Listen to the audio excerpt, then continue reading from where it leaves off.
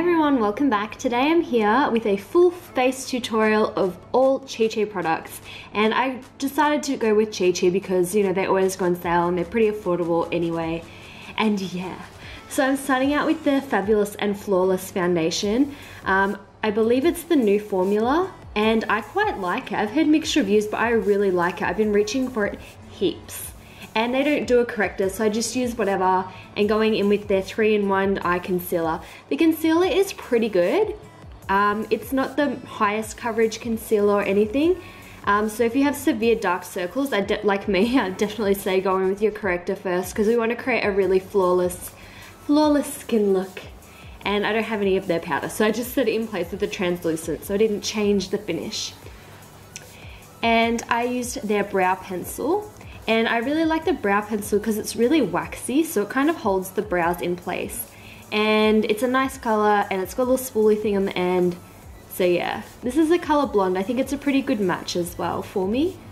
But you can use whatever, and then I like to just set it in place. Even though it has the wax, I feel like I just need it set in place. And then I'm taking the bronzer. This was like a limited edition one, but they have that exact same color combo, but they're just arranged a bit differently in a nicer packaging. And I used the lighter colors um, to kind of bronze and then the darker colors to kind of contour and shape out my face a little bit more. Same deal with this blush. It comes in much nicer packaging normally, but I got it in like some set.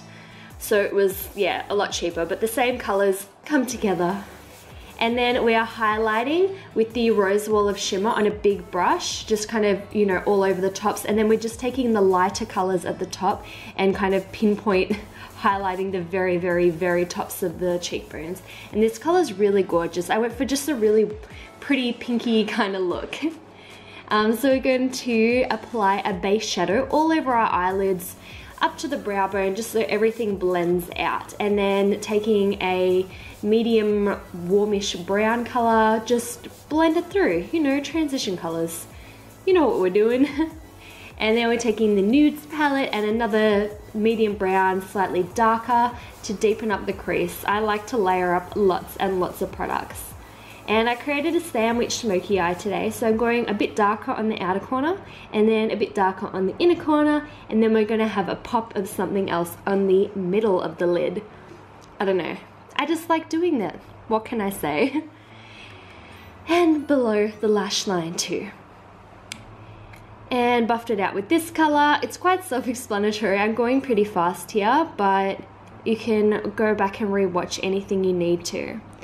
Then we're highlighting the inner corner and brow bone. I actually really like this eyeshadow look. It, it turned out really nicely. Um, so I'm taking the Extravaganza palette and this light pinky champagne color and applying that over the lid and under the lower lash line. This color is so pretty. So pretty. You could actually use this palette to create the entire look. I just didn't think of it straight away until I was like, oh, I need an eyeliner, so I'll get it out. So for eyeliner, very simple, just a black and then smudge it out nothing special. And then set it in place with like a dark eyeshadow of any kind. Apply lashes and mascara as desired. I'm going so fast in this video. I love these lashes. Alright, so the first lip combo that I did was this dark red vampy lip. And then the next one was just a neutral nude, which I'm all about the nudes, so I just loved it. Love the look so much, so I hope you enjoyed the tutorial and the finished looks. If you recreate them, please hashtag me on Instagram. I'd love to check them out. Thank you so much for watching and I'll see you all next time. Bye.